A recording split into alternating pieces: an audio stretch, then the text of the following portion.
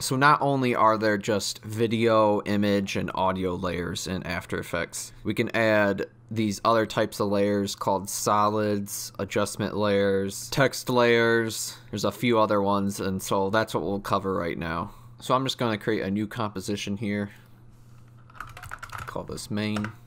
If we want to add a new layer to our composition, we can either go to layer and new, or we can right click in our timeline and go to new and pick from our layer.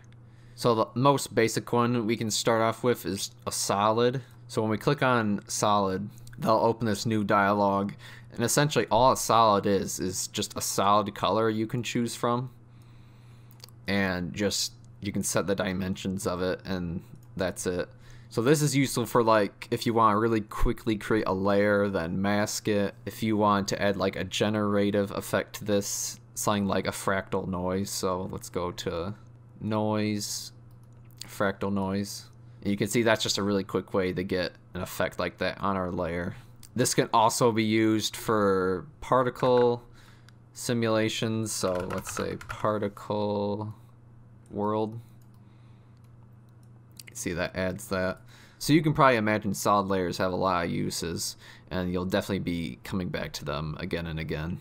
Another type of layer we have is a null object. All this is is just like an empty layer that's positioned at the center of our comp. And so like this isn't rendered out or anything when you render your composition, but you can add anything you want to this so like After Effects has these built-in effects called controls.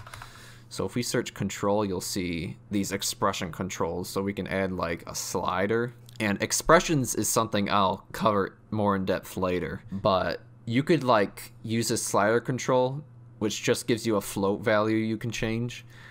And you can connect that to other parameters and use this as the driver for all those other parameters. So that's one useful thing for a null object is you can just apply all these controls to one layer and not have them lost within your other layers. Null objects are also useful for when you're parenting layers. There's plenty of our uses for nulls, and not everyone may have a use for them, but they're definitely really handy, especially when you start getting into expressions. So moving on to our next layer type is the adjustment layer, and I'm going to create a new composition from a video here so I can better explain what that does. So adding an adjustment layer. So what an adjustment layer basically does is it looks at all the layers below it. And any effect you apply to the adjustment layer will apply to every single layer below that adjustment layer in a way where it treats it as it's like one layer. So what do I mean by that? So let's say we scale this down drag it over here, we duplicate it, we move that here. And on our adjustment layer, let's say we add a drop shadow. What that's going to do, you'll see we applied the drop shadow to our adjustment layer.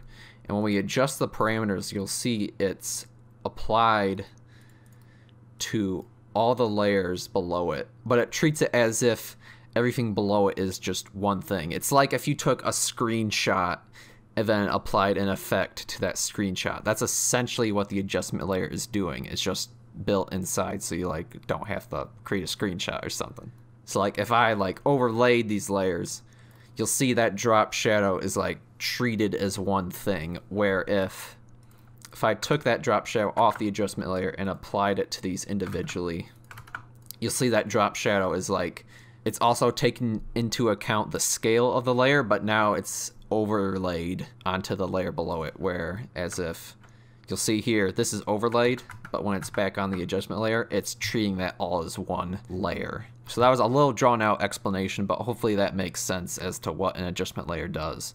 And also as a side note, you'll see on the adjustment layer here, it has this adjustment layer switch enabled. And so really what an adjustment layer is, is it's a solid with that switch enabled. So if I just created a solid and enabled that switch and then applied the drop shadow effect to it, it does the same exact thing. So that's all an adjustment layer is. It's really just a solid with that switch enabled. All right, so one last thing about adjustment layers. Uh, we're gonna create a solid here and then we're gonna mask this solid to something like this circle.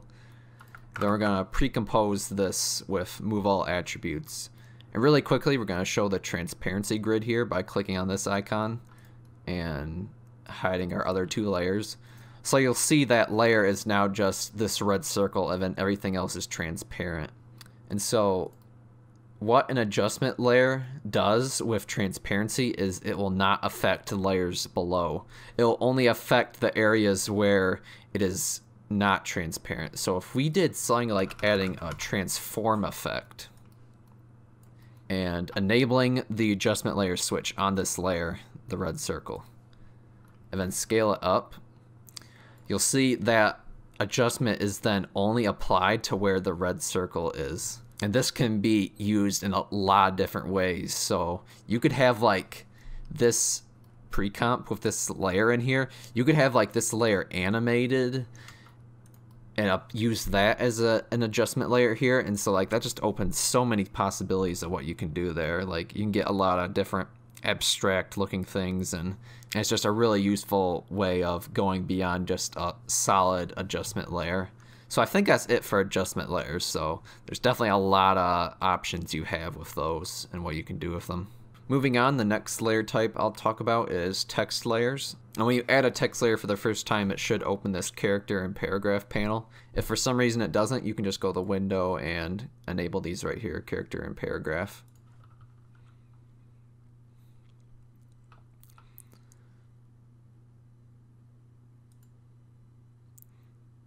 And so text layers and later as we'll see shape layers have their own sort of little world to them where there's tons of different properties you can modify on these, but I'll just explain some of the basic ones. So when you create a text layer, you can just immediately start typing into it. And while your text layer is selected, you can, for example, change the font of it here in the character panel. And also you have the option to change the fill color of it, the stroke color of it, or you can even remove the stroke. All these other options for it, you can change the text size. You can also just scale up the text layer to change it. So there's a lot of different options you have and you can play around with these. One unique thing about text layers is if we go into the layer for them down here in the timeline, you'll see on the right here, there's this animate drop down. And so text layers have their own animation tools that you can take advantage of. We are given the ability to individually for each character or word or sentence to be able to manipulate all these properties for them. So for a very basic example, we'll just add the scale property We'll change this scale value to like 50%. And right away you'll see that these characters were scaled individually, but more than that, we can change the range that it affects of them. So if we change like the start range, you can see that that's like an easy way we could scale up these characters individually. So like we can even set this to 0% and then we could change the start range.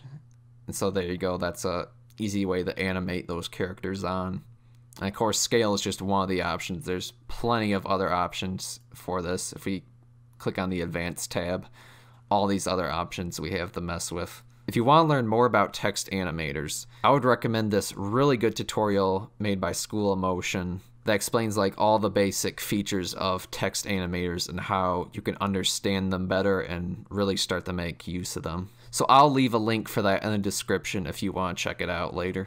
So the last type of layer I'll talk about is shape layers. And there's multiple ways you can create these. The first way is just by right clicking going to new shape layer.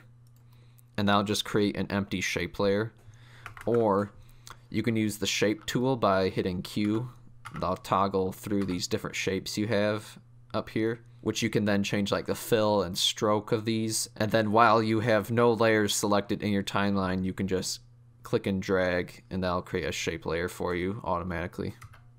And like text layers, shape layers have all these different properties to them that you can modify and add to. So some of these we can see if we click on the add drop down, it's split into four different categories. So we can add groups of shapes by using a group. There's four different types of shapes we can add rectangle, ellipse, polystar, which is just like a star or polygon you can add, or you can add your own custom path. And then to these, we can add a fill stroke or a gradient variation of those. And then you have all these different modifiers you can add to them.